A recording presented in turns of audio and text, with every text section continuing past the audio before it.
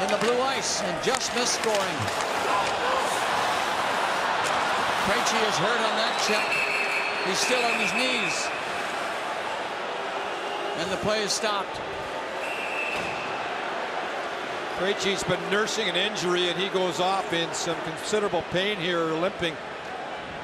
And the Bruins injury woes continue as he was missed early in the series and now it looks like he's heading right for the locker room. That's a big story for the Boston Bruins. Just before that though in the four on four, look at Hoffman here. Work the play low and then Turris tries to find Hoffman in a given goal going back from the floor. It almost worked. And here's this play in the neutral zone. Looks like a little knee on knee here as Wideman gets his leg out. Maybe caught Krejci in a Charlie horse, but anyway, he went off in a heap, Ed.